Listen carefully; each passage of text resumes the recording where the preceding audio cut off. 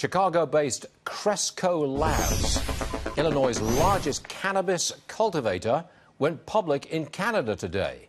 Charlie Bachtell, Cresco Labs CEO, is with us now. Why did you go public in China, in, uh, in Canada? Uh, good morning. Thanks for having me. So, you know, the reason that we went uh, public in Canada is access to capital markets and the capital that we need in order to continue to normalize and professionalize the cannabis space. This was the uh, this was the vehicle for us. This is the, the vehicle that's available to U.S. operators right now. Now, you guys grow it, uh, you distribute it, and you retail it. Is that right? You're a sort of a vertically integrated cannabis company.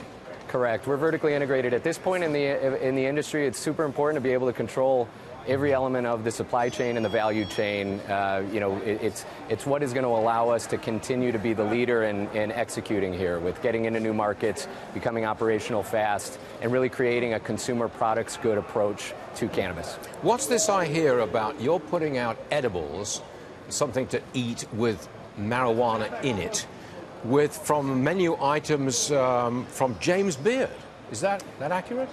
You know, it, it's a perfect example of the way that we wanted to approach this space, which was, again, normalizing and professionalizing it. One of the ways to do that is bring subject matter experts in at every element of what we're doing. And so, working with a James Beard award winning chef to develop our line of edibles, Mindy's Edibles, it seemed like an obvious decision for us, and uh, we were fortunate to be able to do it.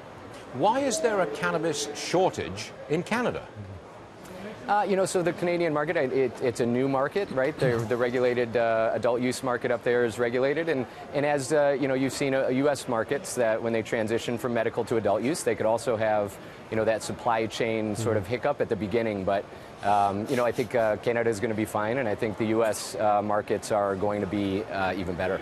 We were told that 40% of the cannabis sold in Colorado is in the edible form. Um, I'm told that that is accurate. Is that because people want to say high stoned all day and they can do it by popping a caramel or something and there's no smell? Is that what's going on?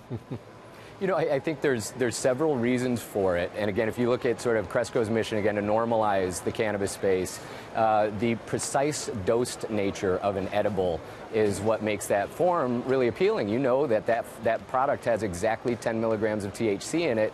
Again, if you're if you're a consistent operator and a, a reliable, reliable operator. But yeah, that's that's why I think uh, that form will be one of the forms that continues to grow and continues to bring new people into the cannabis space.